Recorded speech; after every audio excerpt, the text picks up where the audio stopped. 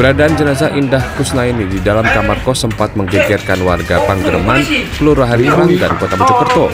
Saat ditemukan Senin lalu, kondisi jenazah sudah terbungkus kain kafan siap untuk dimakamkan.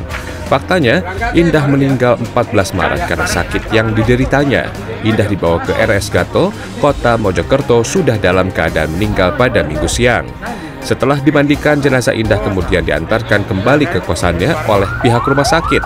Namun karena tidak memiliki biaya, Dedi sang suami tidak segera memakamkan jenazah istrinya dan dibiarkan sehari semalam. Bahkan KTP-nya pun ditahan rumah sakit Gatol sebagai jaminan biaya pemulasaran jenazah telah kembali ke tangannya sebesar Rp935.000. Mendengar kondisi ini, Polsek Prajurit Kulon dibantu sejumlah relawan langsung membantu Dedi dan segera memakamkan jenazah Indah ke TPU Losari.